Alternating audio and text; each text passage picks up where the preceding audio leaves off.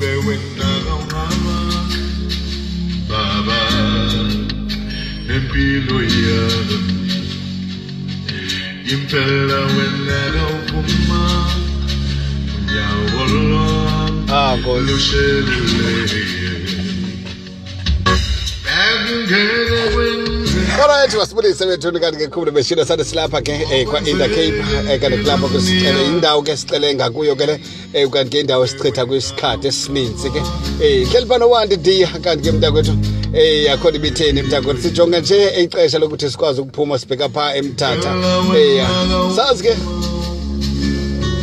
kanti ke zasikhupha inamba mntakwethu mhlawumbi onothi ndithinte kuzo ke mhlawumbi ke um kanti ke phaa ku-zero seven double three.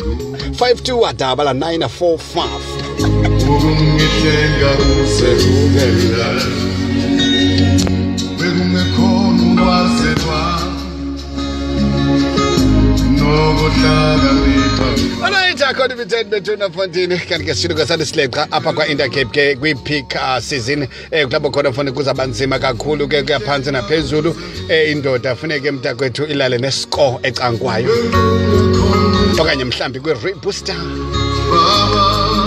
abanye ke mhlawumbi basebenza phambifana kwama-red bulls ke kanti ke funa abanye basebenzisa mhlawumbi iipilisi ezithile ezizawudika ungakwazi ukulala. Unike lo mfana ndiphuncukile pha egibeni bendifunwa ndikhangelwa engusathana enjanje ke funa undicisha. Ivapha.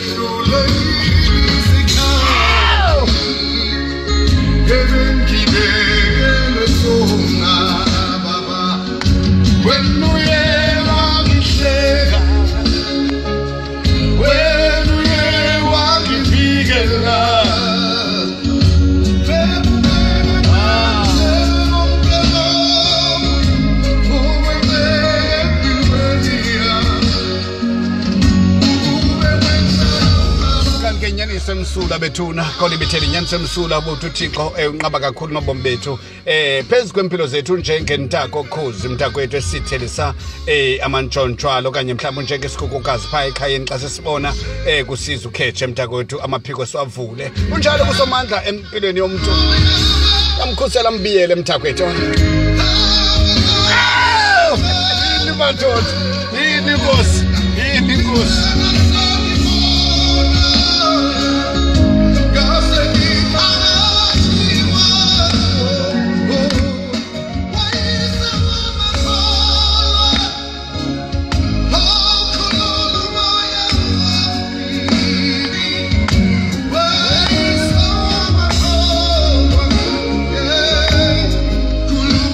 Manje masibulele kakhulu ke mntakwethu kanti ke eh mandikushiye ke nje nje kanti ke njengasho ixesha manje masibulele kakhulu ke eh kwimeko ezinje mntakwethu kodwa imnandi uthi xa ucanda lo mathapha eh ezontsunguzi mntakwethu ezo dry eh umane umcela mntakwethu just a silent prayer uthi inkosi yima nam. Esibesitsho mfana ubabo eh lo mfana wayicula phana nosigwili mntakwethu ingoma emnandi kakhulu ke endiqonda mhlawumbi itricky kakhulu ke kwakivini kwi-remix zakhe kwakivini kwii-mix zakhe eh lo mfana ibetri kakhulu le ngoma. Usebenzile.